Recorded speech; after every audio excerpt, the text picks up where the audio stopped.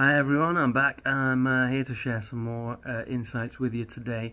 Uh, today I'm going to talk about thinking about, you know, what's the best camera for the project that you've got coming up next.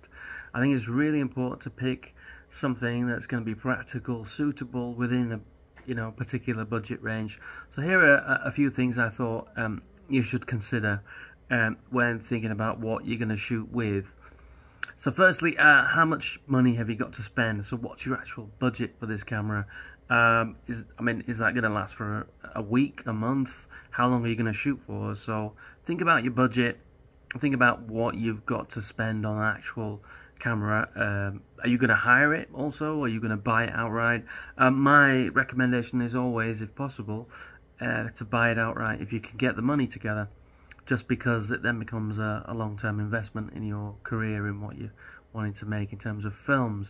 Okay, so my first thing is then if you're thinking about what kind of camera is right for your next film, um, think about what kind of money you've got to spend on it, what kind of budget range is it within. Uh, secondly, um, I'd, I'd, also think about what kind of project that you actually want to produce. What is it? Is it going to be a feature film, a short film?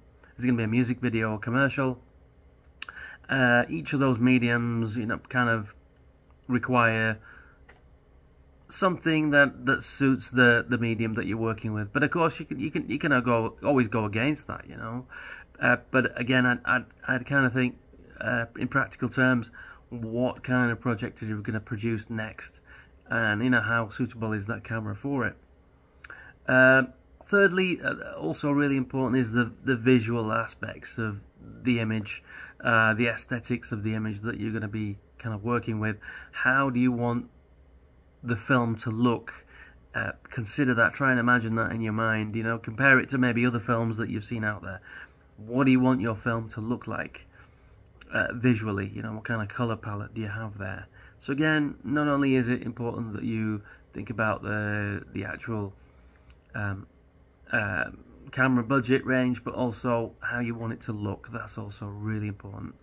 Um, my fourth point here is that you should um, go and have a look at, research the various cameras within your price range and oh, and what's going to give you the right kind of look, what's within the right kind of price range. Um, so go and research and have a look at what's out there. Um, eBay is always a good place to start if you don't mind buying secondhand or just um, you know look at some of those um, companies that sell cameras that are also brand new as well as um, secondhand, and and really try and work out which which which one you prefer if you've got any kind of preference. Once you've looked at the the technical aspects of it and also the kind of visual image it, it can give you, um, and then finally, what kind of um, camera might be the most practical for your project. So what I mean by that is, um, do you want something like a DSLR? Do you want something really light and small and quick to move around? Or are you happier with having something that's a lot bulkier, say like a red camera, or somewhere in the middle, something like an Ursa, or an ARRI, which is also a, heavy camera. Um, it gives you a certain look uh, visually, but it, it's a heavy beast to, to move around as um, as a camera to shoot with.